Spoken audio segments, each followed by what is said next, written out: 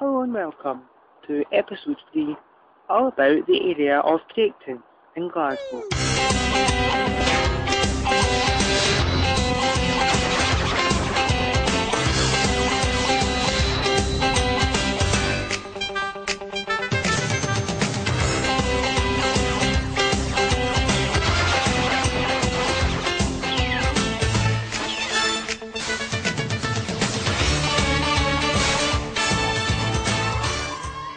Craigton is situated on the south side of Glasgow.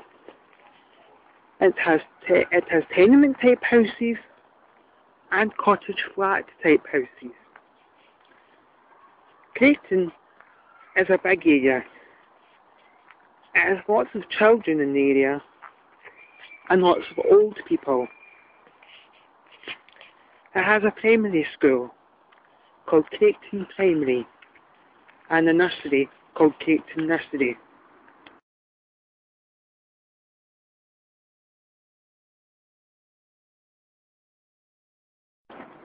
This is Craigton Primary School. It has a nursery and football pitches where the kids can play football.